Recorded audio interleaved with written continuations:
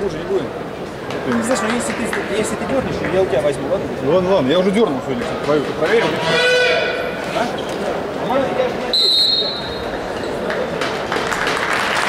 Финал Кубка России 2012 года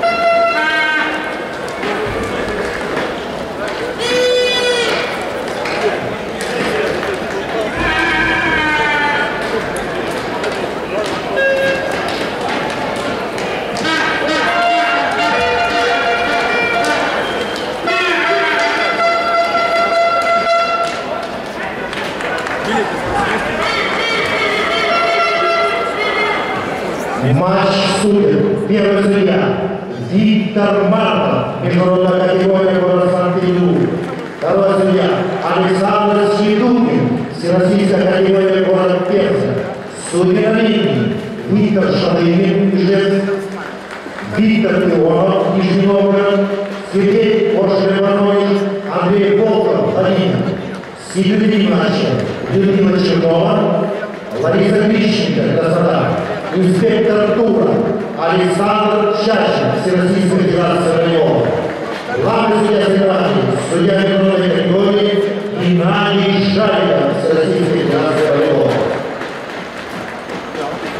На матче присутствует президент Nacional da Igreja